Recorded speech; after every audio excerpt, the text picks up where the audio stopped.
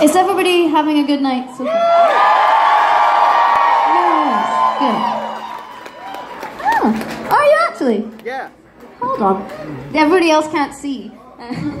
this person has a sign that says, I'm from Doune, which is like the village over from the village that I grew up in. My mum still gets her hair cut in the natural choice in Doune.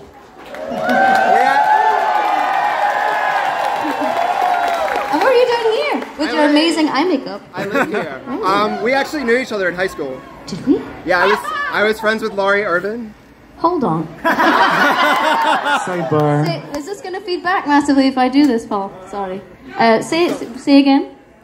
Uh, we actually knew each other in high school. I was uh, really good friends with someone you were really good friends with, Laurie Irvin. There you go. There you go. Uh, Laurie was the bass player in my high school band. Um, yeah. And he's a much better musician than me, so I don't know why the fuck I'm doing this for a living, but. Uh, well, there you go. Nice to see you. Enough uh, removed. Probably went to Thornhill Show together, man. The, fir- the first uh, first gig I ever put on was in the village of Thornhill, and it was called the Thornhill Show. but there was only like there's like a I don't know 1,500 people live there or something, so Yeah. it was the show. It was the only thing that was happening. Well, there you go. We meet again in Birmingham, Alabama. Out of the woodwork. Where do you come from? Edinburgh. Wait, from Edinburgh? Yes, Holy moly. Did we know each other from before? No.